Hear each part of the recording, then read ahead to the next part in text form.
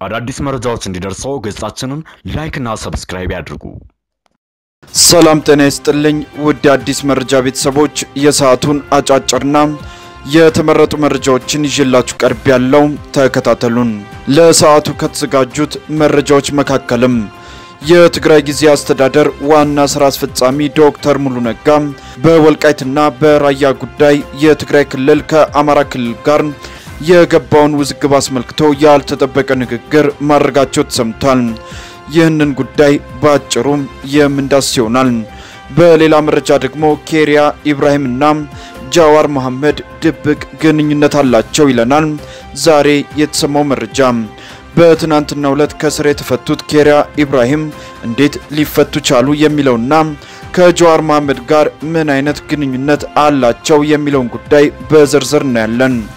በመጨረሻም የአማራ ክልል ፕሬዝዳንት የሆኑት አቶ አገኘሁ ተሻገር በትናንትናው ዕለት በአማራ ክልል ምክር ቤት ተገኝተው ባደረጉት ቆይታ ላይ ከትግራይ ጦርነት ጋር በተያያዘ ያልተሰሙ ጉዳዮችን አንስተው ሲናገሩ ተደምጠዋል። ከዚህ በተጨማሪም በኦሮሚያ ክልልና በቤንሻንጉል ጉሙዝ ክልል በአሰቃቂ ሁኔታ እየተገደሉ ስለሚገኙት የአማራ ተወላጆች ጉዳይም በሰፊው ተናግረዋል። ይህንንም ጉዳይ በአጭሩ የምንመለከት ይሆናል። እስከ ፍጻሜው አብራችሁኝ እንድትሆኑ ጋበዝኩ። መልካም ቆይታ።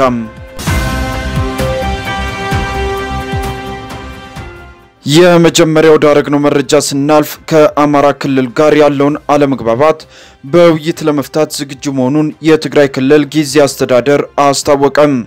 የትግራይ ክልል ጊዜ አስተዳደር ዋና ስራ አስፈጻሚ የሆኑት ዶክተር ሙሉ ነጋ እንደተናገሩት 72 በመቶ በሚሆነው የትግራይ ክልል የመንግስትን መዋቅር ማደራጀት ተችሏል ብለዋል።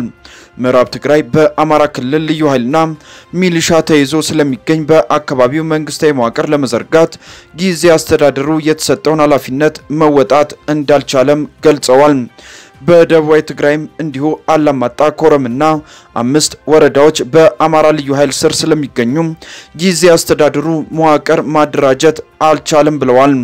ይህ የውስጥ ጉዳይ ያሉት ዶክተር ሙሉ ነጋ ችግሩን ለመፍታት የፌዴራል መንግስት ግልጽ የሆነ አቅጣጫ እንዳስቀመጠ ነው የተናገሩት። ይኸውም የማንነትና የወሰን ጥያቄ በህግ አግባብ መፈታት አለበት የሚል ነው።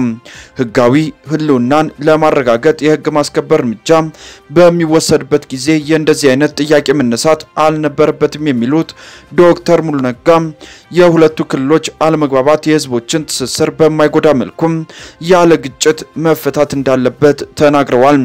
በዚህ ሳምንት በሶስት ቀናት ውስጥ ብቻ ከምዕራብ ትግራይ በርካታ ከሰባ ሺህ በላይ ሰዎች በኃይል መፈናቀላቸውንም ይፋ አድርገዋል። እስካሁን ድረስ የተፈናቀሉ ሰዎች ቁጥር ከ700 ሺህ በላይ መሆኑንም ገልጸዋል።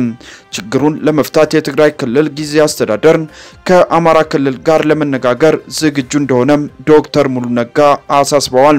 ከዚህ በኋላ በኃይል የሚባል ነገር አይሰራም ያሉት ዶክተር ሙሉ ነጋ የትግራይ ጊዜ አስተዳደር ለችግሩ መፍትሄ የሚሆነው ህግና ስርዓት ነው የሚል አቋም ይዟል። ሁኔታው ወደ ነበረበት እንዲመለስ አቅጣጫ ተቀምጧል። በዚህም ላይ የፌዴራል መንግስት፣ የፌዴሬሽን ምክር ቤት ተመሳሳይ አቋም አላቸው ብለዋል። ሁሉም አካላት ችግሩ በህግና በስርዓት ይፈታ የሚል ተመሳሳይ አቋም ይዘዋል ሲሉ ዶክተር ሙሉ ነጋ ተናግረዋል። የአማራ ክልል ባሳለፍነው ሳምንት በዚህ ጉዳይ ዙሪያ ባወጣው መግለጫ የትግራይ ክልል ጊዜ አስተዳደር የሚያነሳው ጥያቄ ተገቢነት የሌለው ነው ሲል ገልጾ ነበር። የአማራ ክልል አስተዳደር በመግለጫው በጉልበት የተወሰደን ግዛት በጉልበት አስመልሰናል፣ ከአሁን በኋላ የወልቃይትና የራያ ጉዳይ ፋይሉ የተዘጋ ጉዳይ ነው ሲል ቆራጥ አቋሙን ማስታወቁ የሚታወስ ነው። ወደ ተከታዩ መረጃ ስናልፍ ደግሞ ኬሪያ ኢብራሂምና ጃዋር መሐመድ ድብቅ ግንኙነት አላቸው ይለናል ዛሬ የተሰማው መረጃ። የቀድሞዋ የፌዴሬሽን ምክር ቤት አፈ ጉባኤ የነበሩት ወይዘሮ ኬሪያ በዋስ መፈታታቸው ተሰምቷል። ፖሊስ ለችሎት እንዳስረዳው ወይዘሮዋ የተፈቱት ቀዳሚ ምርመራ እስኪሰማ ድረስ በወንጀለኛ መቅጫ ስነስርዓት ሕግ አንቀጽ 28 መሰረት ነው ብሏል። ፋና ችሎቱን ጠቅሶ እንደዘገበው ወይዘሮ ኬሪያ ኢብራሂም ቀዳሚ ምርመራ እስኪሰማ ድረስ የሚቆዩት በሰርቪስ ማረፊያ ውስጥ ነው ብሏል። የህግ ማስከበሩ ሲጀመር ሌሎቹ ሲሸሹ መቀሌ ሆነው እጃቸውን የሰጡት የቀድሞ አፈ ጉባኤ እጃቸውን ከሰጡ በኋላ ክስ ሳይመሰረትባቸው መቆየቱ ይታወሳል። አፈ ጉባኤዋ ወደ መቀሌ የሄዱት ከአዲስ አበባ ተገፍተው መሆኑን ጉዳዩን በወጉ ሲከታተሉ የነበሩ ይናገራሉ። ኬሪያ ኃላፊነታቸውን በገዛ ፈቃዳቸው መልቀቃቸውን ከማስታወቃቸው በፊት ከአቶ ጀዋር መሐመድ ጋር ጥብቅ ግንኙነት እንዲመሰረቱም ተደርጎ ነበር ተብሏል። ለጀዋር ሳሎን ቅርብ የሆኑ ኬሪያን በተደጋጋሚ በዚሁ ሳሎን እንዳዩቸው ምስክርነት ይሰጣሉ። ከኦሮሞ ፌዴራልስ ኮንግረስ ኦፌኮ ሰዎች የተገኘው መረጃ እንደሚያመለክተው ከሆነ አፈጉባኤ ወደ መቀሌ ሊሄዱ ሰሞን በጀዋር ከፍተኛ ግፊት ይደረግባቸው እንደነበር ማንነታቸው እንዲገለጽ ያልፈለጉ የኦፌኮ አመራሮች ተናግረዋል። ጃዋር መሐመድ ለምን ጫና ሊፈጥርባቸው እንደቻለ ሲያስረዱ ወቅቱ የመንግስት ፍጻሜ በመሆኑ ወይዘሮ ኬሪያ እጅግ ተፈላጊ ሚና መጫወት እንዳለባቸው በህወሓትና በነ ጃዋር ታምኖበት ነበር ይላሉ እነዚህ ምንጮች። አክለውም ኬሪያ ወደ መቀሌ የመሄድ ብዙም ፍላጎት እንደሌላቸው ሲታወቅ ጃዋር መሐመድ መንግስት እንደሚቀየር በማሳመን ከፓርቲያቸው መለየት እንደሌለባቸው በማስገንዘብ እንዲሄዱ ገፍቷቸዋል ተብሏል። መንግስት የመንግስትነቱን እድሜ ጨርሷል የሚለው ቅስቀሳ በትብብርና በቅንጅት ሲጀመር ጎን ለጎን የህወሓት ሰዎችና አፈቀላጤዎች አጠር ባለ ጊዜ መንግስትን በኃይል ለማስወገድ ማቀዳቸውን በቃል ወታደራዊ ዝግጅቱን በተግባር እያሳዩና በተለያዩ የሀገሪቱ ክፍሎች ጦርነት ለማስነሳት እቅድ መኖሩን በአጋሮቻቸው አማካኝነት ያስነግሩ እንደነበር ይታወሳል።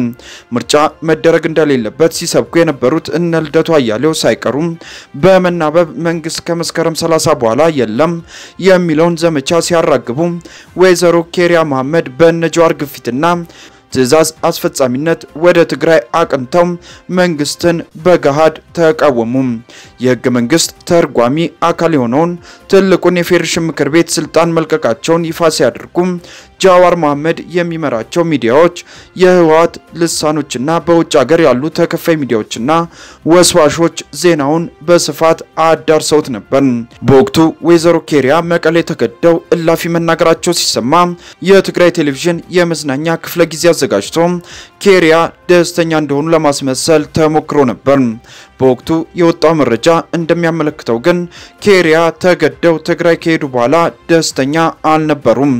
በወቅቱ በህወሓት በጀዋርና በሌሎች ተባባሪዎች አማካኝነት መንግስት በኃይል ሲወገድ የውጭ ማህበረሰብና መንግስታትን ቅቡልነት ለማግኘት ወይዘሮ ኬሪያ አስፈላጊና ቁልፍ ሰው በመሆናቸው ነው ወደ ትግራይ እንዲሄዱና እንዲከዱ የተደረጉት የሚሉት ምንጮቹ ትግራይ ከገቡ በኋላ ህገ መንግስት እንደተጣሰ በስልጣን ላይ ያለው መንግስት ህጋዊ እንዳልሆነ ጠቅሰው መረጃ እንዲያሰረጩ በግዳጅ ተደርገዋል። ይህ ዓለምን የዞረው መግለጫና መረጃ ከተሰራጨ በኋላ መንግስት በኃይል ሲቀየር የዓለም አቀፉ ተቋማትና አገራትን ቅቡልነት ለማስገኘት የህገ መንግስት ትርጓሜው ምክር ቤት አፈ ጉባኤ የነበሩት ወይዘሮ ኬሪያ ኢብራሂም ተዘጋጅተው እንደነበር የመረጃው ምንጭ የኦፌኮን ከፍተኛ አመራሮች ጠቅሰው ተናግረዋል። የታሰበው ሳይን ቀርቶ ጦርነቱ ከተጀመረ በኋላ ወዲያው ትህነግን ከድተው እጅ የሰጡት ኬሪያ ኢብራሂም እነ ስብሃት ነጋ ታስረው እስኪወጡ ድረስ ክስ ሳይመሰረትባቸው መቆየታቸው ይታወሳል። በዚሁ ቆይታቸው ምን መረጃ እንደሰጡና ለህግ ማስከበሩ ዘመቻ የሚጠቅም ግብዓት እንዳበረከቱም በግልጽ የተጠቀሰ መረጃ የለም። ትናንት በዋስካ ላይ በተቀመጠው መሰረት መፈታታቸውን ተከትሎ አንዳንድ የማህበራዊ ሚዲያ አንቂዎች ተቃውሞ ሲያሰሙ እየታየ ነው። አንድ የህግ ባለሙያ እንደተናገሩት ወይዘሮ ኬሪያ አልተፈቱም። ወይዘሮ ኬሪያ ቀዳሚ ምርመራ እስኪሰማ ድረስ የሚቆዩት በሰርቪስ ማረፊያ ነው። ውጭ ሆነው ክሳቸውን መከታተላቸው ኃጢአት የለውም። ነፃ አልተባሉም።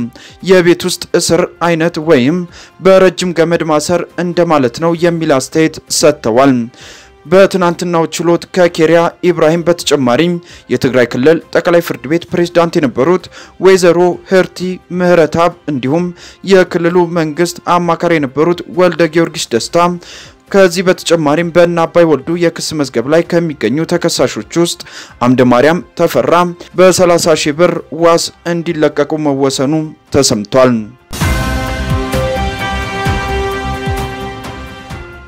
ወደ ሌላኛው መረጃ ስናቀና ህወሓት ጦርነት እንደሚጀምር አውቀን ስንዘጋጅ ነበር ሲሉ አቶ አገኘሁ ተሻገር መናገራቸው ተሰምቷል። የአማራ ክልል ርዕሰ መስተዳደር አቶ አገኘሁ ተሻገር ከህወሓት በኩል ጥቃት ሊሰነዘር እንደሚችል በማሰብ ክልሉ አስፈላጊውን ዝግጅት ሲያደርግ እንደነበር ተናግረዋል። ርዕሰ መስተዳድሩ ይህንን ያሉት ለአማራ ክልል ምክር ቤት የመስተዳድሩን የስድስተኛ ወራት የስራ ክንውን በተመለከተ ባቀረቡት ሪፖርት ላይ ነው። አቶ አገኘሁ ተሻገር እንደተናገሩት ከሆነ ጦርነቱን ህወሓት መቼ እንደሚጀምረው ባናውቅም ወደማንፈልገው ጦርነት ሊያስገባን እንደሚችል በመገንዘብ ስንዘጋጅ ቆይተናል ብለዋል። ይህንን መነሻ በማድረግ የክልሉ መንግስት የይሆናል እቅድ አዘጋጅቶ ራስን ለመከላከል ስንዘጋጅ ስለቆየን ጦርነቱ በተጀመረበት ወቅት መከላከል ችለናል በማለት ለምክር ቤቱ አስረድተዋል። ምንም እንኳን ጥቃት ሊፈጸም ይችላል በሚል ተዘጋጅተው እንደነበር የገለጹት ርዕሰ መስተዳድሩ ጦርነቱ ጥቅምት መጨረሻ ላይ ይሆናል ተብሎ እንዳልተጠበቀ ገልጸዋል። አክሎም ጥቅምት 24 ቀን 2013 ዓ.ም የህወሓት ኃይሎች በፌዴራል መንግስቱ ሰራዊት የሰሜን እዝ ላይ ጥቃት መሰንዘራቸውን ተከትሎ በአማራ ክልል በማዕከላዊ ጎንደር በኩል ወረራ መፈጸሙን ርዕሰ መስተዳድሩ ለምክር ቤቱ አባላት አስረድተዋል። በተለይ በማዕከላዊ ጎንደር ዞን ቅርቃርና ሶሮቃ በኩል የሀገር መከላከያ ሰራዊት ለዘመቻው የሚያስፈልጉትን የተለያዩ አቅርቦቶችን እስኪያጓጉዝ ድረስ የክልሉ ልዩ ኃይል ጥቃቱን መመከት መቻሉን ርዕሰ መስተዳድሩ አክለው ገልጸዋል። አቶ አገኘሁ ተሻገር ትኩረት ሰጥተው ከተናገሩባቸው ጉዳዮች መካከል ከክልሉ ውጭ የሚኖሩ የአማራ ብሔር አባላት ደህንነት ጉዳይ አንዱ ነው። ርዕሰ መስተዳድሩ በተለይም በኦሮሚያ በቤኒሻንጉል ጉሙዝና በደቡብ ክልሎች ውስጥ የአማራ ተወላጆች ጥቃት የሚደርስባቸው ህወሓት በሰራው የረጅም ጊዜ ሸፍጥ ነው። ይህም ምንም ጥናት የማያስፈልገው ነባራዊ እውነታ ነው በማለት በሀገሪቱ የተለያዩ አካባቢዎች አማራ በማንነቱ ለሚደርስበት መፈናቀልና ግድያ ህወሓትን ተጠያቂ አድርገዋል። ከዚህ ባሻገርም የአማራ ክልል ከሚያዋስናቸው ክልሎች ጋር የሚፈጠሩ ግጭቶችን ለማስቆም መስተዳድሩ እየሰራ መሆኑን አመልክተው በተለይ ከቤኒሻንጉል ጉሙዝ ክልል ጋር በተያያዘ በርካታ የክልሉ ተወላጆች የሚደርስባቸውን ጥቃት በቋሚነት ለመከላከል ሁለቱ ክልሎች በጋራ የሚሰሩበት ቻርተር ተሰናድቶ ወደ ስራ ለመግባት ዝግጅት ላይ መሆኑን ተናግረዋል። ኢትዮጵያ ከሱዳን ጋር የምትዋሰንበት የአማራ ክልል አካባቢን በተመለከተም ርዕሰ መስተዳድሩ በሰጡት ማብራሪያ በጥቅምት ወር በትግራይ ውስጥ የተፈጠረውን ቀውስ እንደ መልካም አጋጣሚ በመጠቀም በምዕራብ ጎንደር አካባቢዎች የሱዳን መንግስት ወረራ መፈጸሙን ርዕሰ መስተዳድሩ ገልጸዋል። በሱዳን ኃይል የተወረሩት አካባቢዎች አሁንም በሱዳን ቁጥጥር ስር መሆናቸውን አቶ አገኘሁ ተሻገር የተናገሩ ሲሆን በእነዚህም ሰፊ የእርሻ ቦታዎችና ካምፖች መወሰዳቸውን ተናግረዋል። ይህ ሲሆን ብዙ ጥፋት ደርሷል ያሉት አቶ አገኘሁ ተሻገር በቀጣይም የበለጠ ጥፋት ሊደርስ እንደሚችል አመላካች ነገሮች በመኖራቸው የፌዴራል መንግስት አፋጣኝ እርምጃ እንዲወስድ ጠይቀናል ብለዋል።